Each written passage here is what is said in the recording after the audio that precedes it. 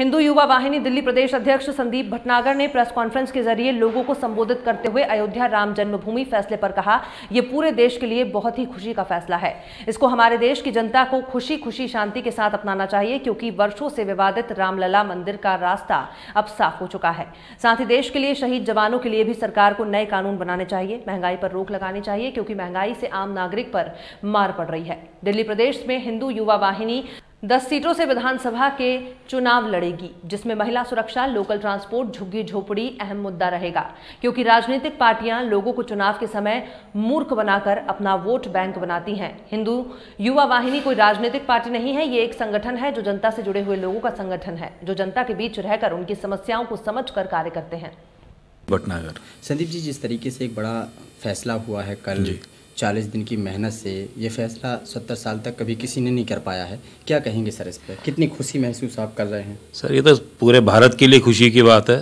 संपूर्ण समाज के लिए खुशी की बात है कि सुप्रीम कोर्ट की ने इतना बड़ा डिसीज़न, इतना बड़ा ऐतिहासिक फैसला दिया। तो इसके लिए तो हम अपने संविधान की भी हमें तारीफ़ करनी पड़ेगी और सभी, संपूर्ण भारत की जनता को मैं अपनी तरफ़ से, हिंदू युवा वानी भारत की तरफ़ से बधाई देता हूँ। कि रामलला के मंदिर बनने का निर्माण का ये रास्ता साफ़ हो गया। सर कहीं ना कहीं इसमें आप लोगों का भी हाथ होगा। कहीं देखिए सबका हाथ है सर मैं ऐसा श्रेय क्या लूँ इसमें संपूर्ण भारत का हाथ है। संपूर्ण जनता का हाथ है सभी धर्मों का हाथ है। तो हमारा क्या है हमारा तो अपना कुछ नहीं है जो है सब प्रभु राम का ही है। जी। तो सर आगे आपका और और क्या मांग है कोई है अभी? अभी खास मांग हमारी ये नहीं है पर हम ये चाहते हैं कि अब सैनिकों को भी संविधान के अंदर उन्हें एक संवैधानिक दर्जा दिया जाए जो। भारतीय सैनिक हमारे बॉर्डर के ऊपर लड़ाई लड़ रहे हैं। उनको कम से कम बेसिक सुविधाएँ प्रोवाइड कराई जाए।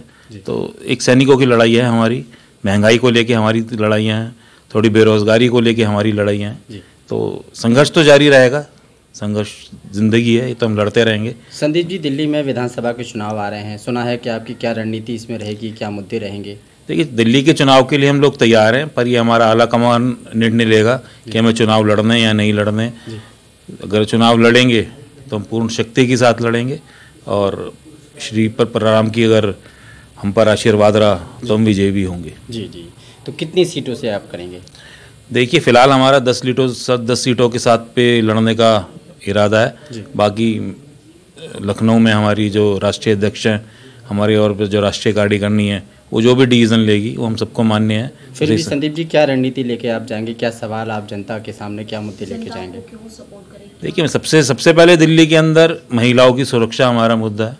आप देखते हैं आज की तारीख में भी अगर आप देखें तो महिलाओं को दिल्ली के अंदर सेफ़ नहीं है।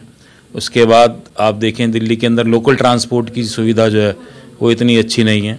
इसके अलावा दिल्ली के अंदर बहुत सारी अपनी खुद बेसिक समस्याएँ हैं। अगर आप देखें तो बहुत मतलब झुग्गी झोपड़ी में आप जाएँ तो उनको कुछ भी नहीं मिल रहा। है सर 2014 में चुनाव जब हुए थे तो दिल्ली सरकार ने भी झुग्गी झोपड़ियों की बड़ी बड़ी बातें की थी। वहीं पे जाके डोर टू डोर झुग्गी झोपड़ी वालों से बोला था कि हम फ्लैट खड़ा करके यहाँ पे आप लोगों को फ्लैट देंगे। इस पे क्या कहेंगे आप?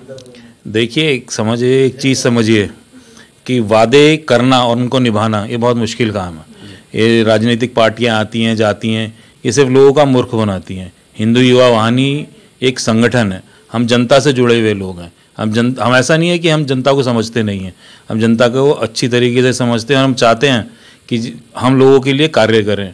अभी भी जैसे मैंने आपको पहले भी एक बात बताया था कि हमने हमारे संगठन ने ये डिवीज़न आने से पहले हमारे मीडिया प्रभारी संदीप सिंह ने हमारे पार्टी प्रभारी पवन गुप्ता ने घर घर जाके हमने लोगों से अपील करी थी कि कोई सा भी निर्णय आए।